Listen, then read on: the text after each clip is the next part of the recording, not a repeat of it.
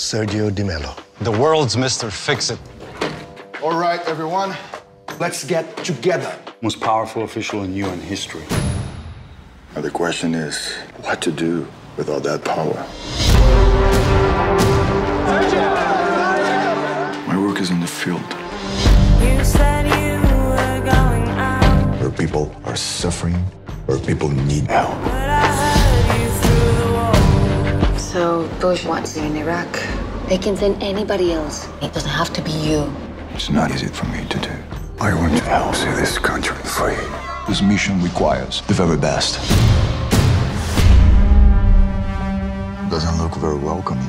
This is Baghdad, Sergio. You still think you can walk away after four months? I do.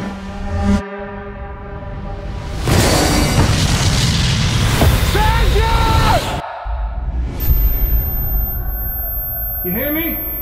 Are you okay? Jesus Christ. You're Sergio De Mello. Remember what happened? What a waste for you to be pulled under the wall. I know what I want for my life, Sergio.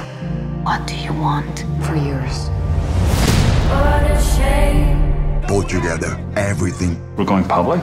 Can't do that, Sergio. You're here to support the U.S. That's the only reason you're here. The reason I'm here is because you broke it. And you have no idea how to put it back together. I speak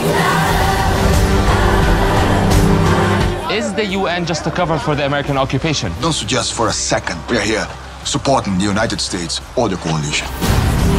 Sergio, I need you to stay with me. I have survivors. Do you copy? We're running out of time. There's nothing else coming. You need to leave the area. I need to find him. Do you hear me?